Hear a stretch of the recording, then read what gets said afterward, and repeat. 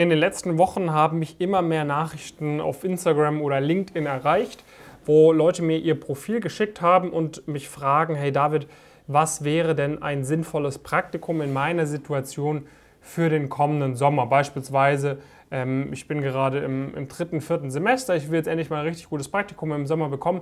Was könnte ich denn da für ein Praktikum erreichen? Oder ich bin im Gap hier oder ich bin im zweiten Semester. Ja, je nachdem, wo du gerade stehst, hast du natürlich ein unterschiedliches Ziel für das Praktikum im Sommer.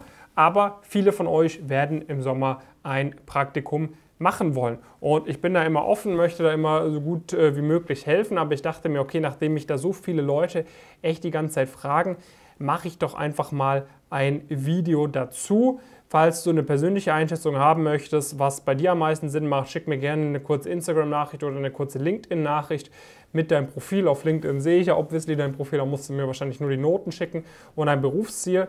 Ähm, und vielleicht eine kleine Auswahl von Firmen, wo du dich jetzt tendenziell bewerben würdest oder wo du vielleicht schon Offer hast, damit ich dir da Feedback geben kann, ob das Sinn macht oder nicht. Also, ähm, wie möchte ich dieses Video strukturieren? Ich möchte vielleicht mal am Anfang anfangen. Wir, wir, gehen chronologisch durch, fangen an beim Abitur und dann sage ich immer so ein, zwei Sätze, was denn beispielsweise sehr sinnvolle Praktika wären ähm, für den kommenden Sommer in der jeweiligen Ausgangssituation. Also, fangen wir mal an. Du hast jetzt dein Abitur gemacht und es war ein ordentliches Abi oder du machst gerade ein Abi, willst äh, zum Herbst anfangen mit einem Studium, beispielsweise an der Uni St. Gallen, an der Uni Mannheim, an der Goethe-Uni, an der WHU etc. Und ähm, planst jetzt ein, ein, Praktikum vor Studienbeginn zu machen. Wenn du ein ordentliches Abi hattest, vielleicht auch ein bisschen ehrenamtliches Engagement gesammelt hast zur Schulzeit und vielleicht auch schon ein, zwei relevante Schülerpraktika gemacht hast oder was heißt relevant, aber vielleicht mal bei der Deutschen Bank für eine Woche im Firmenkundengeschäft was gemacht hast etc., dann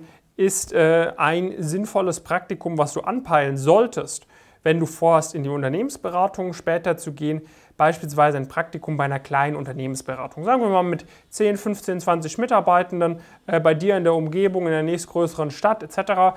Da ist etwas, was schon etliche Leute bei uns aus dem Elite-Coaching beispielsweise erfolgreich geschafft haben, vor dem Studium sowas zu bekommen. Alternativ macht es beispielsweise auch Sinn, bei einem Startup ein Praktikum zu machen oder bei einem Konzern. Wohingegen, wenn du dich für den Bereich Investmentbanking interessierst, macht es sehr viel Sinn, beispielsweise bei einer Wirtschaftsprüfungsgesellschaft in der Wirtschaftsprüfung ein Praktikum zu machen.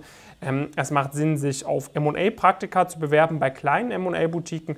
Auch dazu haben wir einige Beispiele von Teilnehmerinnen und Teilnehmern aus dem Elite-Coaching, die bereits vor dem Studium ein erstes MA-Praktikum bekommen haben. Da ist dann natürlich in der Regel nicht bei großen äh, Investmentbanken etc. Auch das ist möglich bei manchen Teilnehmerinnen und Teilnehmern durch äh, Vitamin B, das heißt durch Beziehungen, dass dort die Eltern beispielsweise bei der Investmentbank arbeiten. Da kann man die Karte spielen, ähm, aber auch ohne, dass man diese Karte spielen kann, ist es möglich, ein M&A-Praktikum vor dem Studium zu bekommen. Da war jetzt zum Beispiel neulich auf meinem Kanal dieses Döner-Test-Video oder so. Beispielsweise mit dem Josef. Ne? Der Josef hatte ein Dreier-Abi und hat es mit uns geschafft, nach nur zwei Monaten im Elite-Coaching schon vor dem Studium ein sehr relevantes M&A-Praktikum zu bekommen bei einer M&A-Boutique mit, glaube ich, 20, 30 Mitarbeitern. Das heißt, das ist auf jeden Fall möglich, selbst wenn die Ausgangssituation vielleicht nicht so bombastisch ist. Ansonsten bieten die Big Four teilweise Schülerpraktika an, teilweise auch normale Praktika, ähm, wo man sich auch ohne Vitamin B, wenn man sehr gute Bewerbungsunterlagen abschickt etc., ein Praktikum sichern kann. Das heißt, da geht es ein bisschen los. Ähm, zur, zur Schulzeit. So, wenn wir jetzt mal weiter gucken, was ist ein sinnvolles Praktikum nach dem zweiten Semester, ähm, wieder äh, gegeben, gegeben, dass dein Profil bisher sehr gut ist, du an einer sehr guten Uni studierst, sehr gute Noten geschrieben hast, etc., das Engagement stimmt, dann ist so der, der Mindestanspruch eigentlich, den man haben sollte, wenn es Richtung Investmentbanking gehen sollte, äh, soll bei dir sehr relevante M&A-Erfahrung, das heißt beispielsweise bei einer Big Four Wirtschaftsprüfungsgesellschaft im Transaction Services Bereich ein Praktikum zu machen nach dem zweiten Semester oder bei einer relevanten M&A-Boutique, die wirklich gute Deals macht, äh, wo die Partner wirklich 10, 20, 30 Jahre Berufserfahrung gesammelt haben, beispielsweise davor auch bei Bulge Bracket Investmentbanken gearbeitet haben und wo viele Leute beispielsweise, die halt nicht so viel Ahnung haben, beispielsweise erst nach dem vierten, fünften, sechsten Semester Praktika machen oder im Gap hier oder teilweise sogar im Master. Ne? Das sind dann so die Player, die du dir anschauen solltest für nach dem zweiten Semester äh, Richtung Unternehmensberatung ähm, ist der, der Mindestanspruch dann schon eine, eine Unternehmensberatung, die auch, äh, sage ich mal, ähm, bekannt ist in ihrer jeweiligen Branche. Es muss noch nicht direkt eine Strategieberatung sein. Optimalerweise ist es schon eine Strategieberatung. Haben wir auch einige Teilnehmerinnen und Teilnehmer, denen das gelingt. Beispielsweise mit dem Heinrich kam neulich mal eine Progress Story online. Ähm, findest du auch hier oben eingeblendet. Äh, der Heinrich wird jetzt nach seinem ersten Semester an der Goethe-Uni bei Capgemini Invent äh, ein Praktikum direkt machen in der Strategieberatung. Oder der Christian von der Uni Köln wird nach seinem ersten Semester bei Ebner Stolz Management Consultants äh, ein Praktikum machen und das jeweils nach dem ersten Semester. Das heißt, nach dem zweiten Semester ähm, ist das genauso möglich. Du musst natürlich wissen, wie gehst du daran, wie optimierst du dein Profil etc. Ähm, aber wenn man weiß, wie das geht, dann ist das schon so der Mindestanspruch. Ne? Genauso haben wir etliche Beispiele von Teilnehmerinnen und Teilnehmern, die eben die von mir gerade angesprochenen MA-Praktika nach dem ersten oder zweiten Semester machen.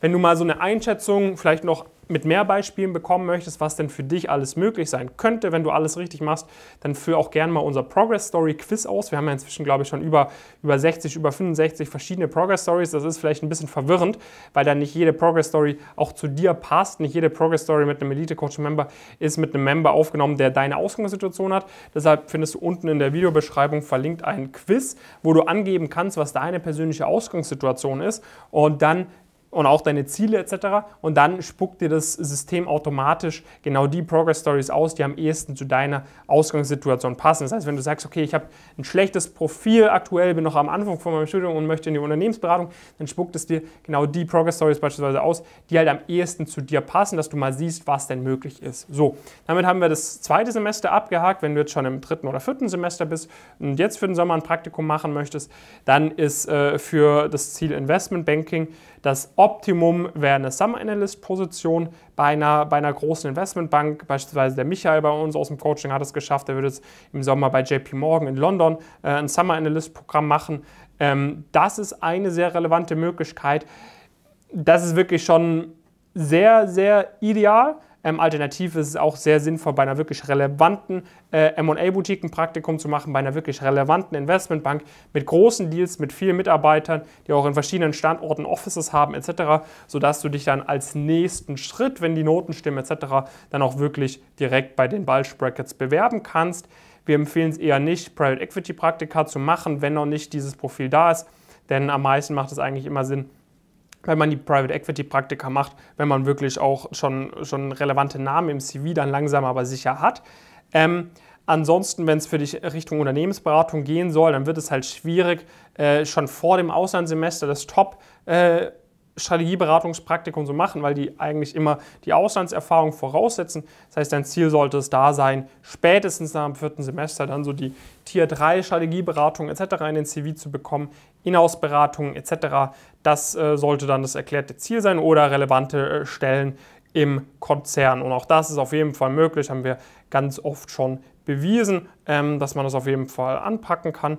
Und ähm, letztes Beispiel ist dann quasi im Gap hier, wenn du fertig bist mit dem Bachelor, was ist da ein relevantes oder ordentliches Praktikum im Sommer? Ähm, das sollte dann auf jeden Fall das Ziel sein.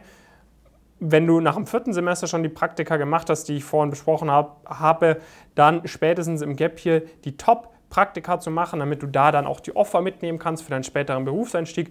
Falls dir das noch nicht gelungen sein sollte, nach dem vierten Semester die relevanten Praktika zu sammeln, die ich vorhin angesprochen habe, dann solltest du spätestens im Gap hier die Praktika machen, die ich vorhin angesprochen hatte, für nach dem vierten Semester. Und wie gesagt, da ist jetzt wirklich nur so der ich will jetzt nicht sagen der Mindestanspruch, aber das ist wirklich das, was planbar ist, was systematisch geht, wenn man von Anfang an alles richtig macht. Oder wenn man zumindest äh, zu einem gewissen Zeitpunkt im Studium sagt, okay, ich bin jetzt leid, hier alleine irgendwelche Fehler zu machen, ich hole mir hier ordentliche Unterstützung und gehe das Ganze mal professionell an. Äh, da haben wir zahlreiche Beispiele, wie gesagt, die lernst du alle in unserem Progress Story Quiz auch genauer kennen, ähm, die dir zeigen können, dass das möglich ist. Ähm, wir haben oft genug auch Beispiele gehabt von Leuten, die uns bewiesen haben, dass nochmals deutlich mehr möglich ist. Beispielsweise hier der Josef mit einem Dreier-Abi in M&A-Praktikum vor dem Studium. Ich habe eigentlich gesagt, es geht nur, wenn du ein sehr gutes Profil hast, wenn wirklich alles gepasst hat, aber es geht eben auch, wenn du vielleicht nicht das allerbeste Profil hattest, wenn du einfach beharrlich unser System executed hast, Bewerbung abgeschickt hast, dich auf die Interviews vorbereitet hast, etc. Und genau das Gleiche gilt auch für alle anderen Schritte. Ne? Es kann auch sein, dass, dass dir gelingt, beispielsweise nach dem vierten Semester das Bulge Bracket Praktikum zu bekommen, obwohl du nach dem zweiten Semester nie so was Tolles hattest. Aber es ist halt eher unwahrscheinlich, von dem her am besten, sobald du hier dieses Video anschaust, jetzt ist immer der beste Zeitpunkt, Gas zu geben, alles rauszuholen. Entscheide dich am besten jetzt dazu, ähm, alles richtig zu machen und einfach dein Profil krass zu optimieren. Wie gesagt, wenn du da eine Einschätzung haben möchtest, was bei dir persönlich Sinn macht, schreib mir gerne eine Nachricht auf Instagram oder LinkedIn. Alternativ kannst du dich gerne auch direkt über unsere Webseite bewerben auf eine persönliche Zusammenarbeit mit uns. Ähm, davor, bevor es in ins Elite-Coaching geht, haben wir nämlich nochmal unsere kostenfreie Status Quo-Analyse. Da analysieren wir dein Profil mal sehr, sehr genau. Da nehmen wir uns wirklich anderthalb bis zwei Stunden Zeit, um uns dein Profil anzuschauen, deine Planung, dein Status Quo, dass wir genau verstehen, okay, wie gut ist dein Kenntnisstand in dem Bereich, wie gut ist dein Kenntnisstand in dem Bereich, wie gut ist dein Profil in dem Bereich etc. Können dir darauf basierend dann auch einen wirklichen Karriereplan ableiten, können dir genau sagen, hey, das und das wären alles Ziele, die für dich möglich wären zu erreichen, wenn du mit uns zusammenarbeiten würdest. Und so würden wir auch daran gehen. Dann kannst du dich dazu entscheiden, ob du, wie die ganzen anderen Teilnehmerinnen und Teilnehmer, die schon mit uns zusammenarbeiten, auch mit uns zusammenarbeiten möchtest. Und wie gesagt, was da halt ganz sinnvoll ist, um dir einfach mal so ein Bild zu verschaffen, was denn alles möglich ist, wenn du einfach mal unser Quiz ausfüllst auf der Webseite. Ähm, genau, das war's mit dem Video. Ich freue mich wie immer über einen Daumen hoch und würde mich natürlich freuen, wenn wir auf dem einen oder anderen Weg auch länger zusammenarbeiten können. Bis dahin, viele Grüße, dein David.